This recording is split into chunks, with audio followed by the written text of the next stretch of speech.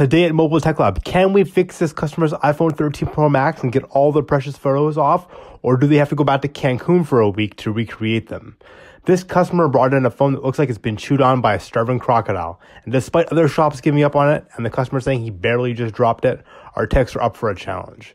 For devices like this, we literally need to reassemble the entire phone. The battery and motherboard both need to be removed and installed in an entirely new housing unit that hasn't been chewed on. A new charge port needs to be installed as well so the phone can boot up, as well as, of course, a working OLED screen.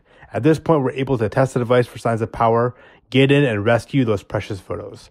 Luckily, we were able to save the customer a return trip to Cancun. If your phone looks as bad and you want to get your data off, don't give up. Shoot us a DM or comment below. We love the challenge and can rescue those precious memories for you. We'd love to help.